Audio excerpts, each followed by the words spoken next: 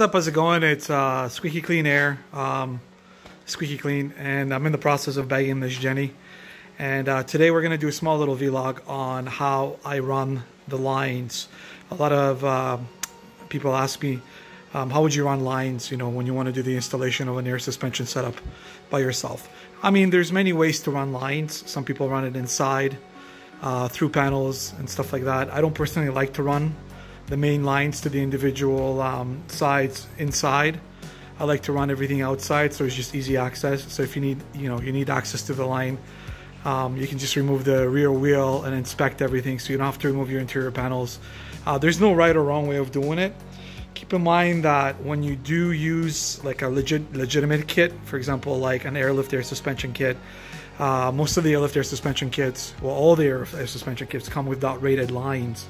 Um, dot rated lines are Department of, Transportation rated lines, and uh, they're good for you know to be used outside, to be used uh, anywhere. They're uh, they're resistant to oils and various things, right? Obviously, you're not gonna um, you know you're gonna make sure that all your fittings are clean when you're uh, when you're installing airlines and stuff like that. And you're gonna make sure that the line is properly cut. Um, you know, there's a million tutorials on how to uh, get the lines ready for uh, for insertion into into fittings. Uh, if not, I'm going to make one as well. But uh, the point is, is that you need to run really good quality lines, and then you'll be able to actually run everything outside. So just a little glimpse on how I do stuff on some of the installations that might help you out. All right, so a lot of really new vehicles, some of the newer vehicles, I apologize for that. Um, the cover moved away. Have little side vents over here. Uh, they'll go from inside the trunk uh, into the uh, behind the bumper. They're usually located on the side of the trunk uh, on both sides. It's a very, very good way to route the lines. Literally just feed the lines right through.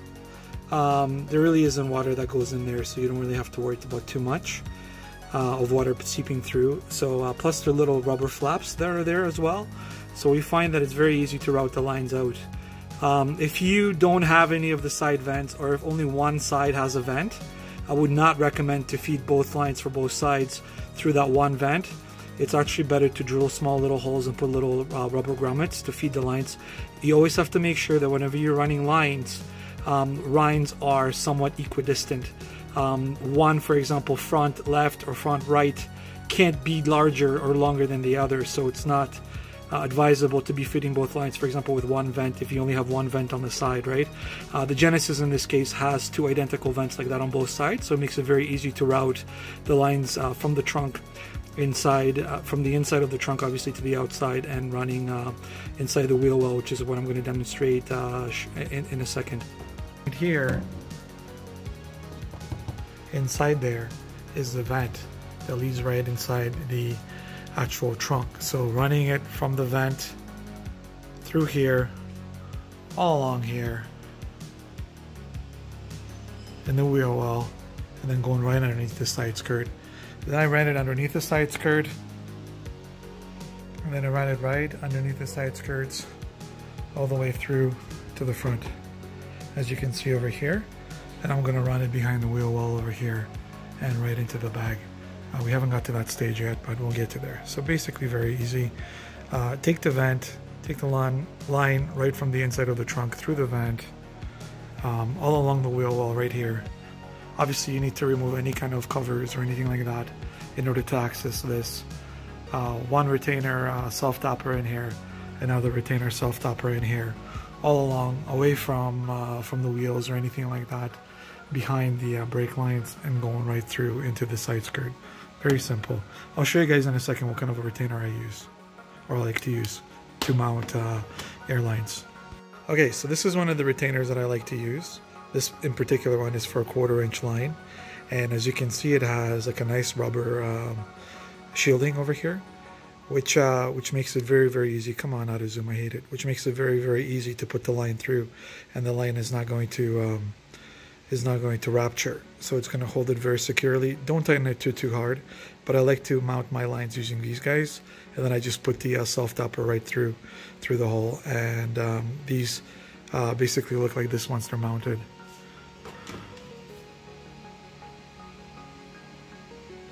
And then I usually just put a nice coat of uh, black paint, rust resistant paint, in order to make sure that these don't rust. Okay, so as you guys can see here, um, initially we uh, ran the line underneath the side skirt. So I routed it behind the shield, um, all the way here, along the perimeter. Just one little screw in there with uh, one of the holders going in here. And there's always a little loop like this that you guys should always have. The reason why you want to keep a little bit of a loop underneath the bag, here's a better picture of everything is because as the car goes up and down, you want to be able to have that slack. You want to be able to have that slack of the line, right? Of the airline, so it doesn't get uh, doesn't get uh, jammed anywhere, and also it gives you the ability for for the bag to goes up and down. Because remember, this whole assembly is going to be going down, so you don't want to be uh, you don't want to have a situation where when the assembly goes down, it pulls on the line too much. And uh, when it expands it doesn't have enough. So always leave like a nice little slack a nice little loop like this which always also allows it to uh, pivot around the strut around the air strut like this and like that. So always leave a slack like that and attach it to the fitting and always use route the fitting behind so it doesn't get caught up in any of the wheels or anything like that so this is a nice clean way of routing a line I know a lot of people recommend uh, that you can use um, braided lines. To be honest with you, if you don't route a braided line, regardless, even if it's a reinforced line properly, it'll still get cut. And what will happen is we'll literally spin around uh, the strut all around here, which is a common uh, issue uh, with airlift actually, where the line actually spins around. Um, let me just put it here.